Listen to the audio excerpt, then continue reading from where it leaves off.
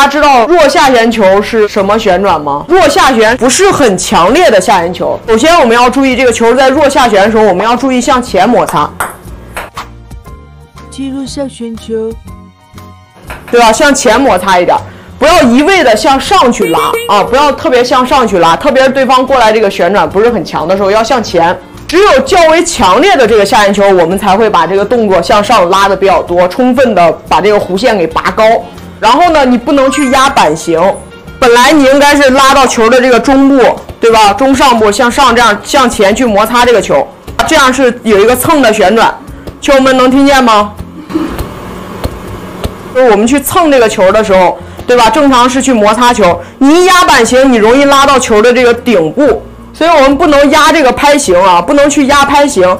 对方发过来这种弱下旋呢，球可能球速不是很快，我们就要注意啊。大家在转重心的时候要向前多转一点，这样向前多转一点。看啊，这是向前多转了一点，然后这是向上，对吧？正常你下旋球可能不是越转，我向上的可能就多，对吧？向上重心就蹬的往上蹬的这个就多。所以我们要注意拉弱下旋要向前，这样的话你就能压着这个弧线。你你在拉的时候向前，对吧？向前转，向前摩擦，向前去转。